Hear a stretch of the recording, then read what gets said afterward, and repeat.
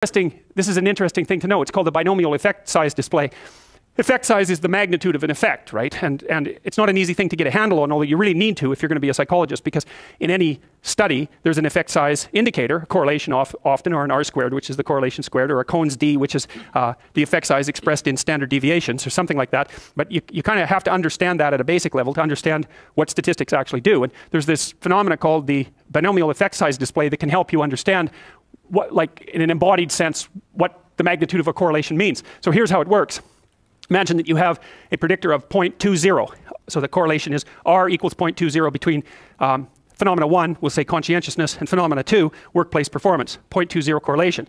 The question might be, well, how much how much would you improve your predictive capacity over chance levels if you applied that predictor? And the answer is that the R is the difference between the odds ratio. So let me explain that. So 0.50, 0.50. If you subtract one from the other, you get zero. So the predictive validity of selection by chance is zero. 0.50 minus 0.50 equals zero. That's the predictive validity of chance. If you have a predictor of 0.20, which is approximately, that's sort of the low end estimate for conscientiousness, then that would change your odds ratio from 0.50, 0.50, right, random, to 0.60, 0.40, because 0.60 minus 0.40 is 0.20. And so the correlation coefficient turns out to be the, the difference between the odds, between the odds. So, and so it gives you a quick rule of thumb. So for example, so if you have a 0.20 predictor, that gives you 60-40. If you have a 0.30 predictor, that gives you 65-35 because 0.65 minus 0.35 is 0.30.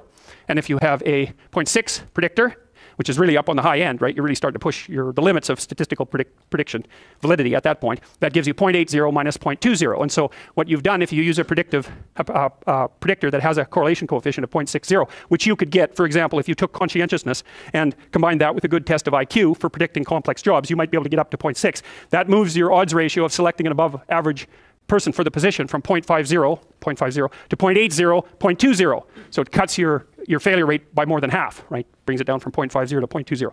Because 0.80 minus 0.20 is 0.60. So that's a really good thing to know. That's called the binomial effect size display. It's a really good thing to have in your mind. It's very simple. It's just, a, it's just subtraction. And it, it gives you some sense of the power of, of, of statistical prediction. Now, the question might be, well, let's say you had a predictor of 0.20, the conscientiousness. You might say, well, if you square the R, that gives you 4% of the variance. Who the hell cares? 4% of the variance. You've left 95% of the variability between people in terms of their performance unexplained. You might say, well, why even bother? Well, the answer to that question is, how much difference in productive output is there between people? Because if there's a tremendous degree of productive of difference in productive output between people, then increasing your ability to predict someone's performance, even by some relatively small increment, might have massive economic utility. You know, if, if let's say the top 10% of your people are 50 times as productive as the bottom 10% of your people, then shifting your ability to predict up so that you have more of those extremely high performing people or less of the extremely low performing people might more than pay off might more than pay for itself from an economic perspective, even though your prediction, your predictor isn't doesn't have that massive amount of power. Well, and that actually happens to be the case. So back in 1968, there was a guy named Walter Mischel, and he had reviewed, he's a social psychologist, he reviewed the personality literature up to that point and concluded that the typical personality measure only predicted the typical performance measure at about 0.2. And that's actually remained relatively stable. I would say it's a little higher than that, it's probably 0.25, especially if you do things like correct for measurement error and so forth. And what Mischel said was because it's only 0.25, let's say, you square that, that's 5% of the variance, you leave 95% of the phenomena unexplained, you might as well not even bother measuring personality.